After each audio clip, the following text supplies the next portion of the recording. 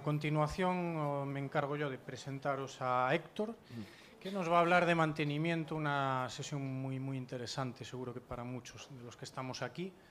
A Héctor, que es leonés, pero lo estamos intentando adoptar aquí como vigués. Bueno, es medio, medio, tienes familia aquí. Y, y, se va a venir muchas más veces, seguro. Porque el tema que va a tratar, como digo, es muy interesante. Al finalizar, pues le podréis hacer eh, preguntas y, y nada. Eh, bueno, diseñador desde hace muchos años, desde los 12 años, haciendo páginas web. Nos explicarás bien eso. Y nada, os dejo con él. Un placer. Muchas gracias.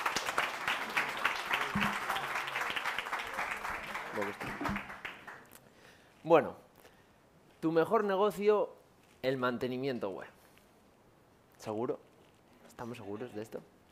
¿Cuántos de los que estáis aquí, vale, porfa, una mano, que es mi primera charla en una WordCamp, cuántos ofrecéis servicios de diseño, desarrollo web, incluso marketing digital? Manos arriba.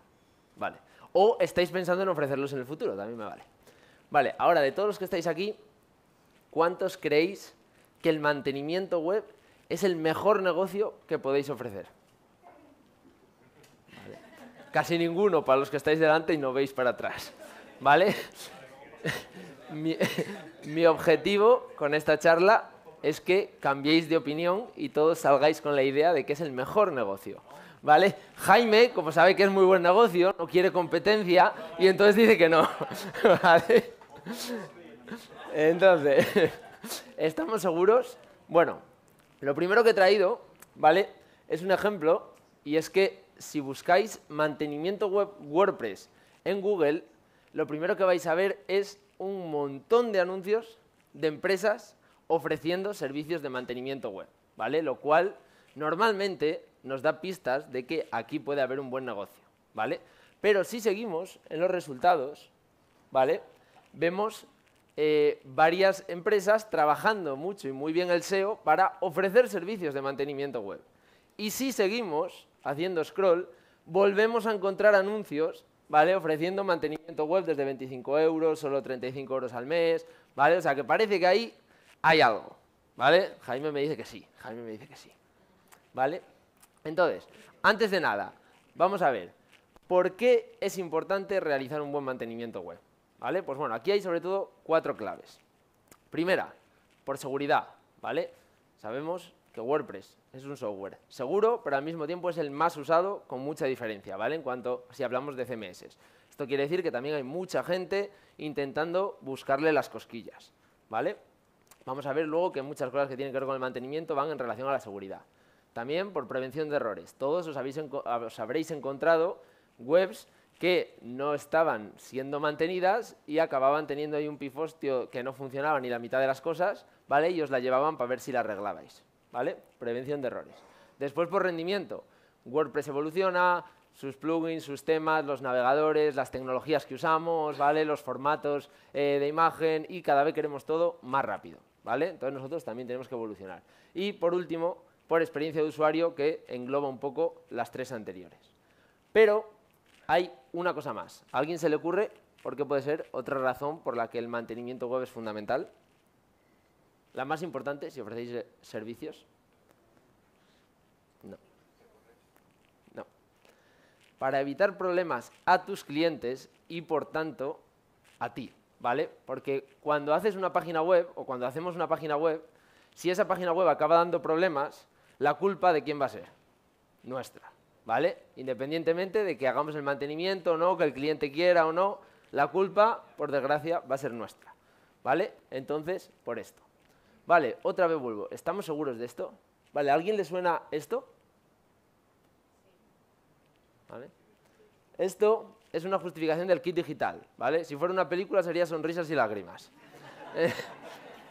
Entonces, aquí vemos que eh, entre las diferentes cosas que nos pide para justificar, nos pide una implantación inicial, nos pide la formación al cliente para que sepa manejar su web, un soporte por si tiene algún problema y nos requiere también un servicio de mantenimiento 12 meses. ¿vale? Habrá muchas cosas en el kit digital que no están bien o que no se han pensado bien, pero quien lo pensó sabía que el mantenimiento es necesario en una página web.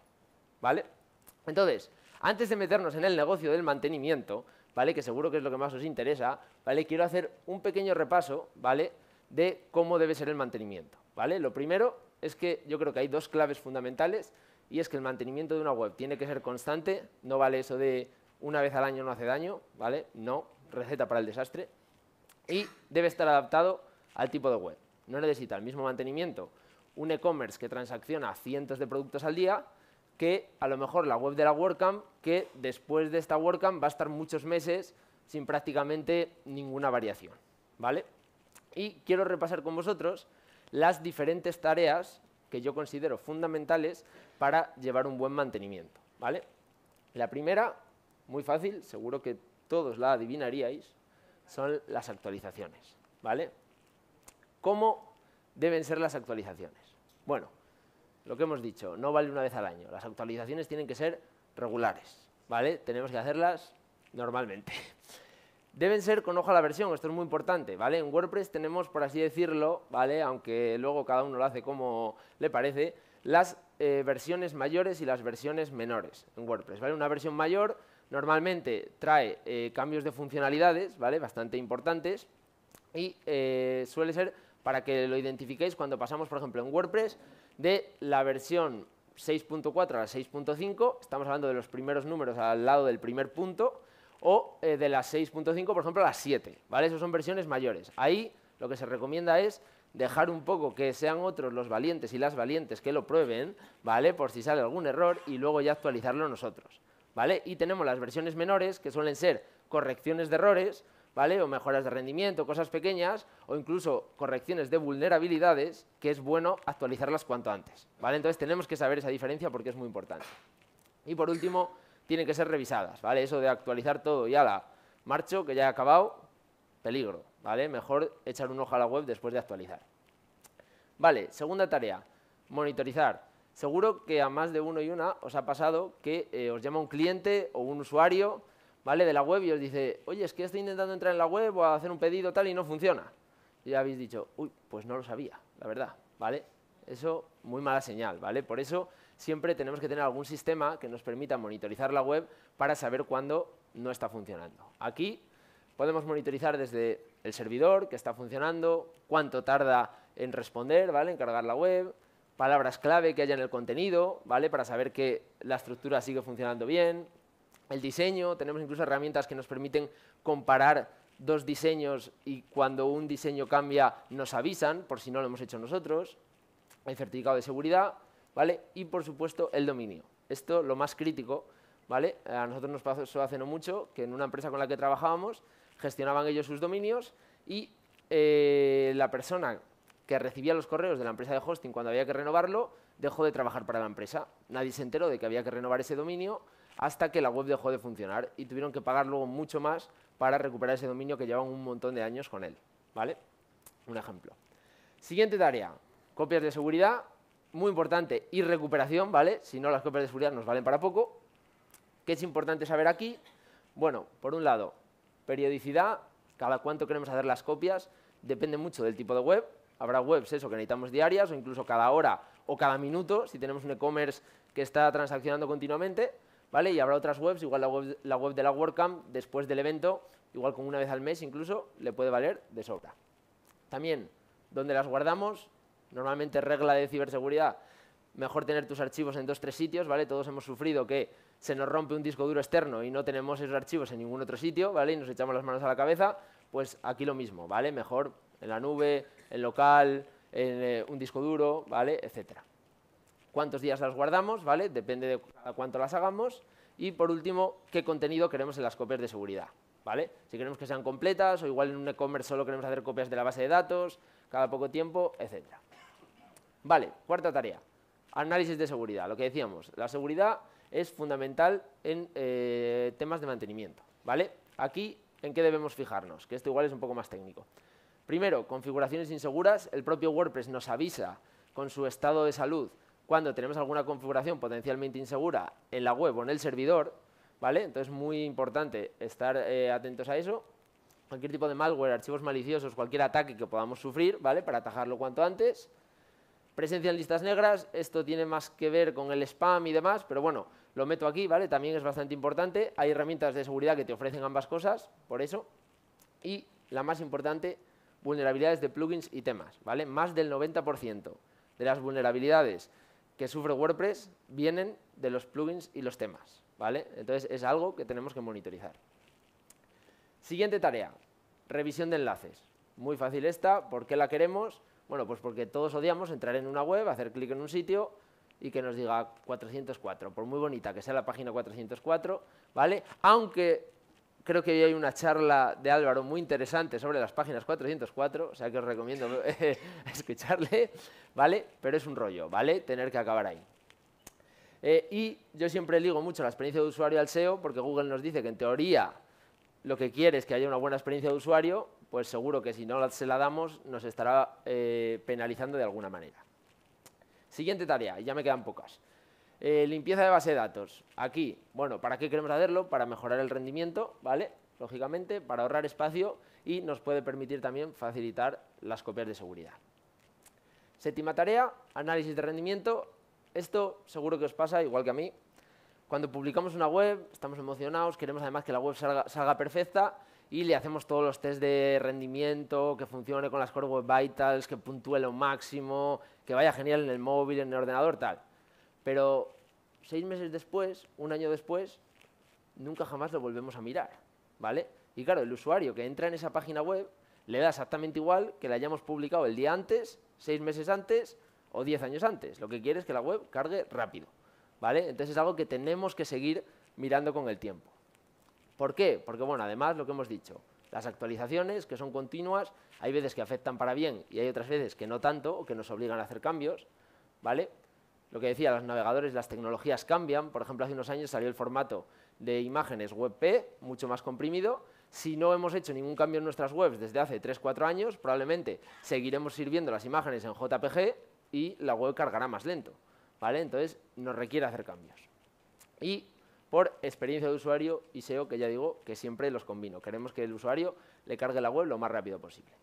Y la última tarea, ¿vale? es la revisión de formularios, dentro de las que yo considero fundamentales. ¿vale? ¿Para qué? Bueno, muy fácil. Porque no queremos perder clientes y dinero. Normalmente, si tenemos un formulario, es porque esperamos que a través de él nos contacten para contratar nuestros servicios o nuestros productos. ¿Vale? Entonces, bueno, estas son las ocho tareas que yo considero fundamentales. ¿Vale? Por supuesto, puede haber más, ¿vale? Cambio de contraseñas periódico, por temas de seguridad, revisión del servidor que estamos consumiendo lo que necesitamos, que no nos estamos pasando, que el servidor no se queda corto, etcétera, ¿vale? Temas de SEO, con Search Console, si la web realmente la está encontrando quien queremos o no la está encontrando nadie, ¿vale? El responsive, si con alguna actualización se puede romper algo, ¿vale? Hay muchas más tareas, ¿vale? Pero bueno, yo me he quedado con las ocho que considero más fundamentales un poco del día a día, ¿vale? Y bueno, prueba de pedidos en un e-commerce, también muy típica, ¿vale? Ahora sí, vamos a pasar a lo que es el negocio del mantenimiento. ¿Vale? Entonces, lo primero es, ¿por qué deberíais ofrecer un servicio de mantenimiento web? La primera cosa es porque representa ingresos recurrentes, ¿vale? Que en nuestros negocios, que son negocios digitales, esto es como el santo grial, ¿vale? Todos queremos los ingresos recurrentes. Lo quiere Amazon, lo quiere Netflix, lo quiere cualquier startup y lo deberíamos querer todos, ¿vale? Nos dan muchísima más libertad que los ingresos puntuales. Además, nos permiten crear relaciones a largo plazo con nuestros clientes. Precisamente al hacer el mantenimiento les estamos evitando problemas y estamos haciendo que estén más contentos con nosotros, que quieran seguir trabajando con nosotros, que nos recomienden a otros potenciales clientes, etc.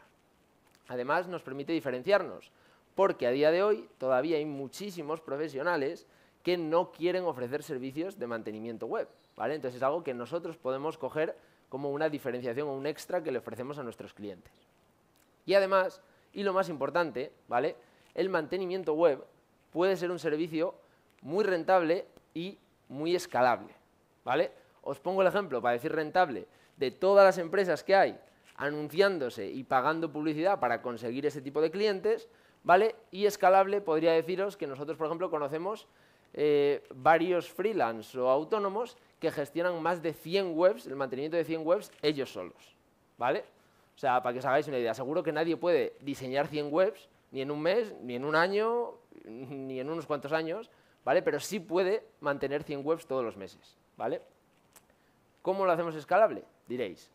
Bueno, pues aquí hay dos cosas. La primera es, tenemos que crear procesos de mantenimiento, ¿vale? Sobre todo orientados a que nos ahorren tiempo, ¿vale? Que nos requiera el menor tiempo posible.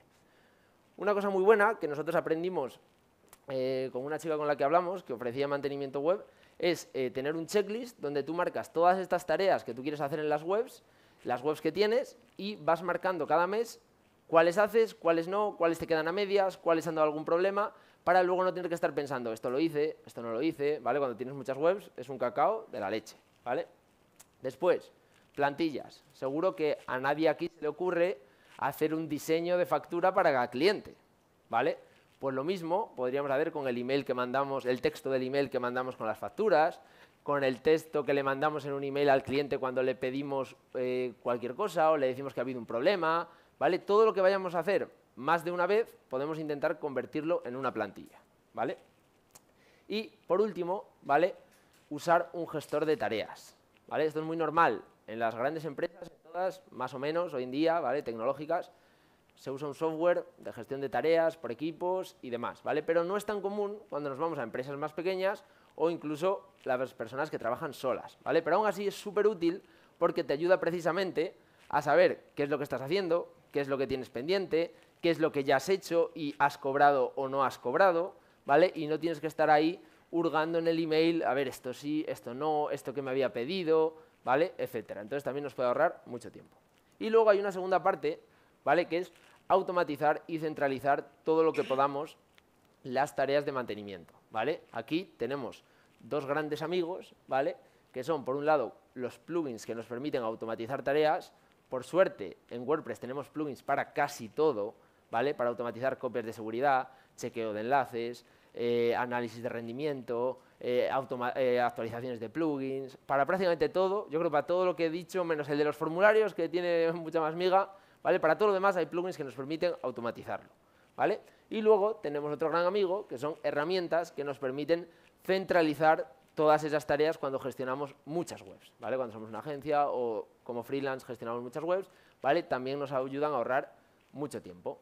¿Vale? Entonces, bueno, con estos, eh, estos dos tipos de cosas, ¿vale? Podemos eh, tener un negocio muy rentable y muy escalable. Y muchos eh, o algunos os preguntaréis, ¿qué pasa si no tengo conocimientos suficientes para ofrecer este servicio? Que es el miedo que mucha gente tiene. Pues aquí os diría que el 90% del mantenimiento, al menos, es preventivo, ¿vale? Y lo puede hacer casi todo el mundo sin muchos conocimientos técnicos o podría decir casi hasta con pocos conocimientos técnicos. ¿Vale? Cuando consideramos conocimientos técnicos, a lo mejor programar, tocar una base de datos, un servidor, ¿vale? Porque al final WordPress nos permite esas cosas, ¿vale? Y además, aquí siempre tenemos la opción, ¿vale? De colaborar con otros profesionales, ¿vale? Con partners que nos puedan ayudar en situaciones complejas, ¿vale? Para eso estamos también en sitios como este, en WordCamps, para, lo decía antes Jaime en su charla, para conocer a otras personas con las que poder trabajar y con las que poder ofrecer unos mejores servicios también a nuestros clientes. ¿vale? Entonces, yo me quitaría ese miedo. ¿vale? Y ahora, entonces, vale, espero que ya estéis un poco más cerca ahí en la cabeza de, vale, esto puede ser un buen negocio, me interesa. ¿vale? Entonces, ¿cómo le ponemos precio al mantenimiento? ¿Cuánto vale el kilo de mantenimiento? Bueno, Aquí tenemos que tener en cuenta varias cosas, ¿vale? Unos básicos de pricing, que esto para cualquier cosa, os vale para el mantenimiento y para lo que sea, ¿vale? Primero, el valor que aportamos. No le aportamos el mismo al e-commerce que decíamos, ¿vale? Que a la web de la WordCamp o de la gestoría de ahí de la esquina, ¿vale? No es el mismo valor el que le estamos aportando. Segundo, costes, herramientas, hosting y, por supuesto, nuestro tiempo, ¿vale? Si vendemos servicios, nuestro tiempo es lo que vale y el precio de la competencia. ¿vale? Si nosotros eh, queremos cobrar 25 y el resto cobran 5, estamos fastidiados. Y también tenemos que tener en cuenta nuestra experiencia, ¿vale?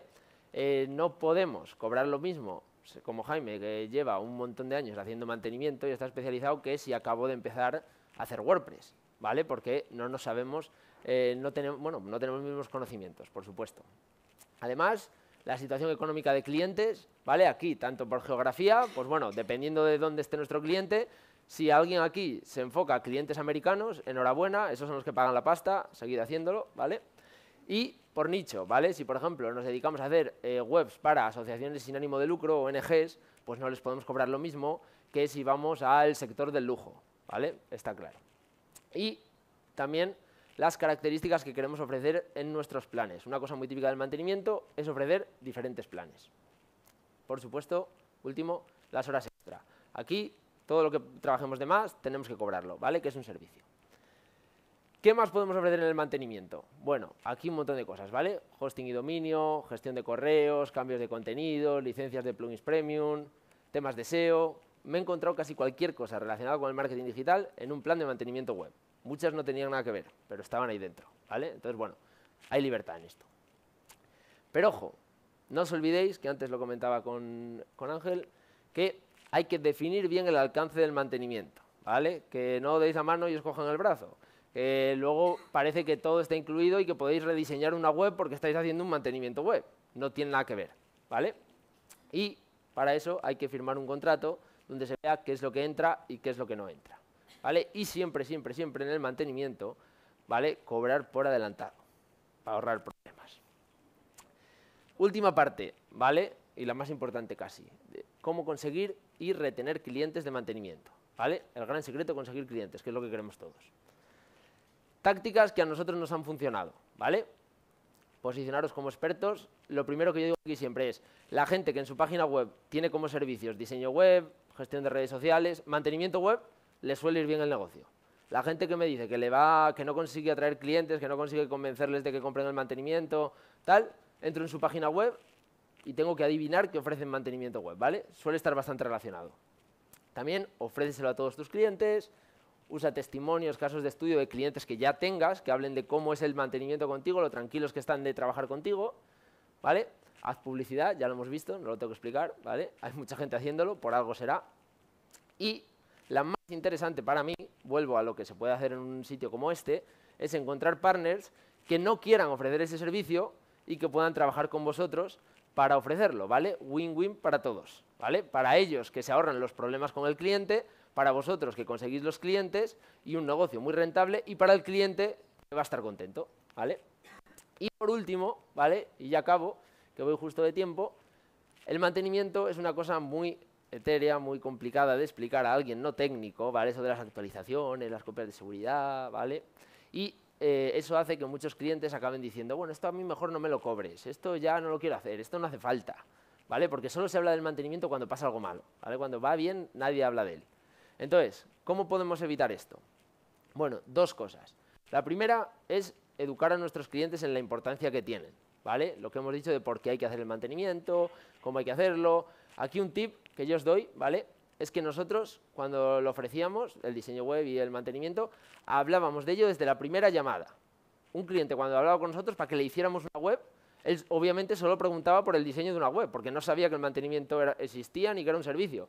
Y nosotros ya le decíamos que nosotros te vamos a pasar una propuesta de diseño web, pero que va acompañado de un mantenimiento para que esa web siga funcionando, para que tu inversión prevalezca en el tiempo y no acabe dándote más problemas que beneficios, ¿vale? Que también nos diferenciaba, como decía al principio, que nos permite el mantenimiento. Y segundo, ¿vale?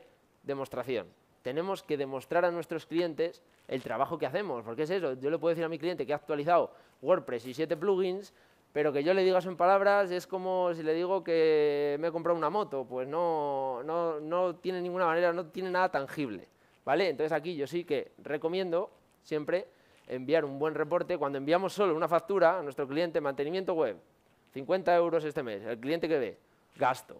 Si enviamos una factura y al lado va un reporte que le dice, he hecho estas actualizaciones, he hecho estas copias de seguridad, he hecho estos cambios en la web, el cliente dice, ah, inversión, muy bien, ¿vale? Entonces, son dos cosas fundamentales porque aquí es tan importante conseguir clientes como retenerlos, ¿vale? En este tipo de negocio. Y con eso me despido. Muchas gracias a todos y hasta la próxima.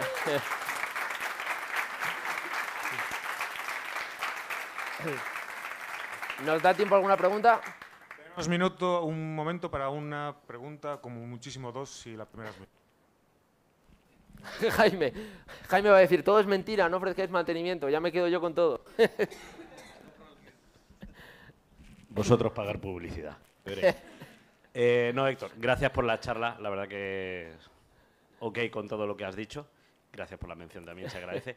Em, yo siempre he tenido, bueno, hasta hace no mucho, eh, el tema de pricing, ¿vale? La lucha de pricing. Sabes que aquí en tema de mantenimiento, los que llevamos ya tiempo en esto, siempre ha habido en plan de... En muchos casos es a ver quién cobra más, en el tema de mantenimiento mm. es todo lo contrario, a ver quién cobra menos. ¿Qué opinas de la batalla del pricing? Cosa que os recomiendo que no entréis a hacer batalla. Cobrarlo Sí, pues bueno, aquí como has dicho hay de todo. Hay gente que lo que busca es eh, arrastrarse al máximo o ir al mínimo posible para conseguir esos clientes y hay gente que todo lo contrario, tú lo sabes bien, que se quiere posicionar más en ese premium de, ojo, que yo te voy a dar, el mejor servicio, ¿vale? Un poco como, como en todo. Entonces yo aquí, pues en base a lo que hemos dicho, depende del estado en el que tú te encuentres, de si estás empezando, si llevas un tiempo, si ya tienes clientes, si lo que estás buscando es esos primeros ingresos recurrentes para ver cómo te funciona el mantenimiento, que en base a eso puedas ir cobrando cada vez un poquito más, ¿vale? como en todo. O sea, por supuesto, que te establezcas en precios de mercado, que no te vayas a decir que voy a hacer el mantenimiento por 15 euros, ¿vale? Porque al final lo hay, lo hay, claro, pero al final ni le va a sacar rentabilidad, ni va a ser escalable, ni va a ser nada, ¿vale? Simplemente va a ser un marrón. Entonces, que no te arrastres al máximo, que busques un precio estándar de mercado, que puedas defender, por supuesto, ¿vale? Con tu experiencia y, y, el trabajo que haces, y de ahí, pues intentes ir subiendo poco a poco, ¿vale? Como todos los negocios, pues intentar ir sacando cada vez más rentabilidad. A ti, Jaime. una última pregunta, si alguien Álvaro, por ahí.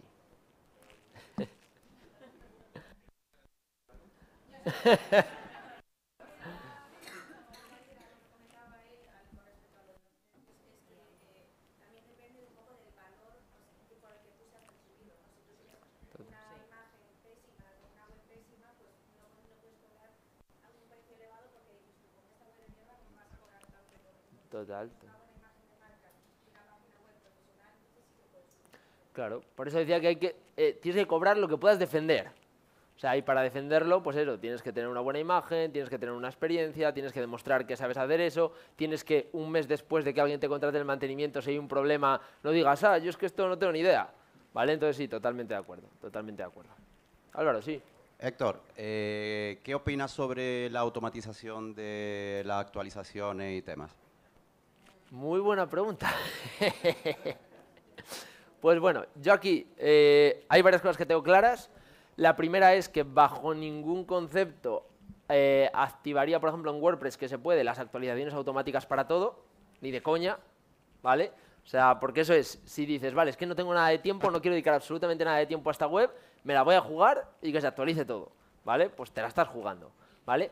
Entonces yo aquí diría que siempre tenemos la opción, hay plugins de WordPress que te permiten a lo mejor en tema de actualizaciones automáticas que eh, cuando salen actualizaciones menores, por ejemplo, de cosas pequeñas, como decíamos antes, sí te las hagan automáticas, ¿vale? Que si tienes además una herramienta de monitorización, si falla luego te vas a enterar y vas a poder arreglarlo y que sin duda las actualizaciones mayores, ¿vale? Las gordas, no las actualizaciones automáticas y lo hagas tú revisando que todo está que todo está ok. Sobre todo también depende de la web. Si tienes una web personal, que entras muy de vez en cuando, que no ve nadie, pues bueno, casi te diría que igual hasta lo puedes hacer. Pero claro, eso, si tienes un e-commerce que está todo el día transaccionando y te la vas a jugar a hacer una actualización automática que sean las 3 de la mañana, porque lo hace un equipo, el plugin lo ha desarrollado un equipo de la India y revienta la web, prepárate.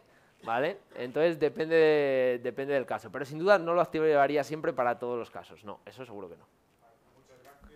Muchas gracias.